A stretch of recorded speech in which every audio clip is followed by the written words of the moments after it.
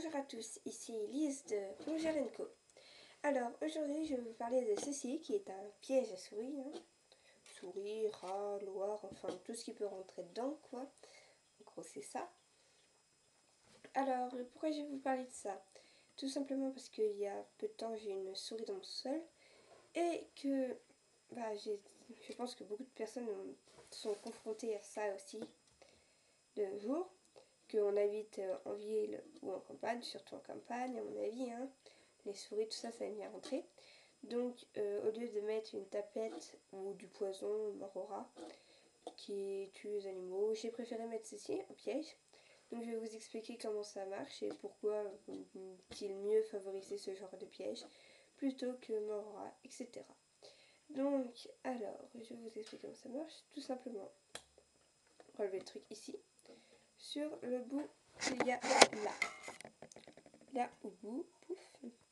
Faut mettre l'appât. Donc moi j'ai pris un bout de pain. C'est parce que c'est tout ce que j'ai. Hein. C'est un peu la flemme de chercher autre chose. il faut le mettre, faire bien attention en mettant. Moi je vous conseille plutôt de mettre par exemple de la pomme ou voilà, autre chose. C'est pas de mieux.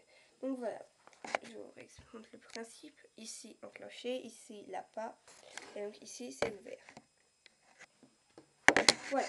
Donc la souris, on va la représenter par un cadeau. Hein, va venir ici, là, là, là, là. Bon, je vais le faire passer par là parce que ça me fait toujours flipper ce truc. J'ai toujours peur de me prendre les doigts là et ça doit faire sacrément mal. Donc je vais faire passer mon cadeau ici à travers gris. Mais ça revient à une souris. Hein la souris en mangeant la l'appât. J'ai mal mis mon appât. Faut faire bien attention de bien mettre l'appât. Oh, Parce que sinon, voilà, ça va pas fonctionner. Sinon, logiquement, la souris, quand elle va manger pas, voilà, ça va se refermer. Euh, voilà. Alors ensuite, bah, la souris est prisonnière et vous pouvez aller la relâcher. Alors, euh, pourquoi favoriser ce type de piège à, par exemple, de la morora ou des tapettes? Bah, Tout simplement parce que ça garde l'animal en vie. Et en plus, moi, ça m'a pas coûté très cher. Ça m'a coûté 3 euros. Et vous pouvez le réutiliser, ce qui est quand même vachement pratique. Donc, bah voilà, c'était en quelque sorte une petite vidéo bonus. Hein. N'hésitez pas à regarder toutes nos vidéos, à mettre un j'aime, à vous abonner à la chaîne.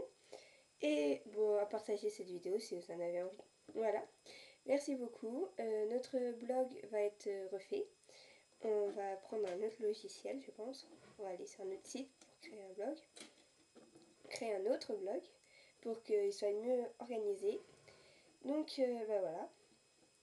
Je vous remercie d'avoir regardé cette vidéo. N'hésitez pas à regarder toutes les autres. Hein. ça pourrait vous être utile. Et puis, à une prochaine fois. Au revoir.